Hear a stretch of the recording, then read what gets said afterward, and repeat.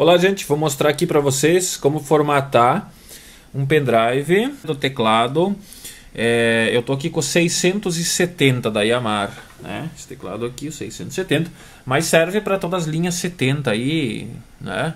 Às vezes muda um pouquinho a configuração, mas você pode é, usar de, de, de base aqui para você entender como é que funciona. Então, conectei o pendrive aqui, já está conectado, né?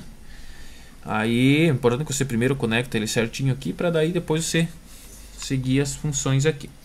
Você vai apertar o botão é, funções que está aqui, tá?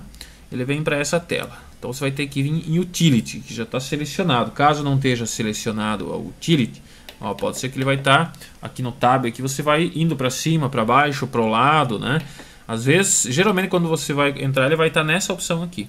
Aí você vem para o lado, né? Pela flechinha aqui, você vem vindo até você chegar em Utility. Aí você aperta o Enter, que está aqui do ladinho, aperta o Enter. Né? Você veio para essa tela. Aí de novo você vai, aí você vai pelo Tab. Tab, que é essa, essa, essas aqui, tá? Não é a mesma de baixo, é essa aqui.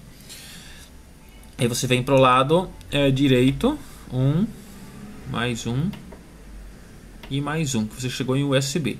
Pronto, chegou nessa tela aqui. Aí tem a opção do format aqui, certo? Ó, tá meio desfocado aqui, né? Uh, mas tem essa opção aqui. Aí você vai apertar no de baixo, tá? Tem que ser no de baixo. Apertou. Ó, ele já está pedindo se você quer formatar. E também está avisando que vai apagar tudo que tiver no, no, no pendrive. Tá? Mas aí você aperta aqui o set embaixo, que é o correspondente ao yes aqui, né? Apertou, pronto, já está formatando, tá? Está formatando, ó, pronto, já terminou. Pronto, está formatado. É bem simples, ok?